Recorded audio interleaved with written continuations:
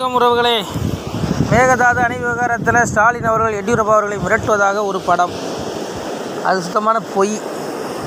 அது அவர்களுடைய ஒரு யூடியூப் சேனலில் போட்டிருக்காங்க. அதாவது பிரதமரே எங் பக்கம் குடியரசுத் தலைவர் பிரதமர் என் பக்கம் அதனால் ஒழுங்காக இருக்கணும் அப்படின்னு சொல்லிட்டு எடியூரப்பா மிரட்டுற ஸ்டாலின் மிரட்டுற அவர்கள் மிரட்டுறதா ஒரு பதிவு போட்டிருக்காங்க ஒரு யூடியூப் சேனலில். இந்த எடியூரப்பா பார்த்தீங்கன்னா அதாவது எப்படி சொல்கிறது எடியூரப்பா வந்து சாதாரண ஆள் கிடையாது. இங்கே என்னமோ எடியூரப்பா வந்து ஒரு இங்கே பக்கத்து வீட்டுக்காரங்க மாதிரி இங்கே சித்தரித்து போட்டுட்ருக்காங்க அவருடைய தனித்திறமை அவருடைய அந்த சாணக்கியத்தனம் யாருக்கு வரும்னா அது பாஜக காரங்கிட்ட கேட்டால் தெரியும். யாருக்கும் வராதுன்னு தான் சொல்லுவாங்க.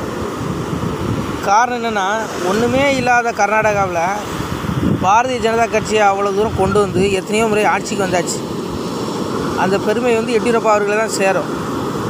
அவர் ஒன்றும் பெரிய அரசியல் பின்புலம் உள்ள குடும்பத்தில் பிறந்து வந்தவரோ கிடையாது. உருவாக்கி வச்சுட்டு போனதை வந்து உருவா உண்டாக்குறது. அவரை பொறுத்தவரையில் தனி மனித உழைப்பினால் முன்னேறினது கர்நாடகாவில் வந்து பாஜக அவ்வளோ தூரம் வளர்த்து இன்றைக்கு முதல்வராக ஆகியிருக்காருன்னா அது அவருடைய சொந்த உழைப்பு சொந்த முயற்சி. அதனால் அவரிடத்துல வந்து இவங்க மிரட்டுறதா அப்புறம் ஒப்பிட்டு பேசுகிறதுலாம் எனக்கு என்னமோ அது ஓமையாக ஒத்து அது எனக்கு அதில் உடன்பாடு கிடையாது உறவுகளே.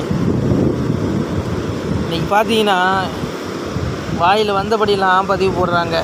அதிகாரம் நம்மக்கிட்ட இருக்குங்கிறனால எதுவுமே பண்ணக்கூடாது. எல்லாம் தர்மம். தர்மம் தான் வெல்லும். எந்த ஆட்சி இருந்தாலும் சரி.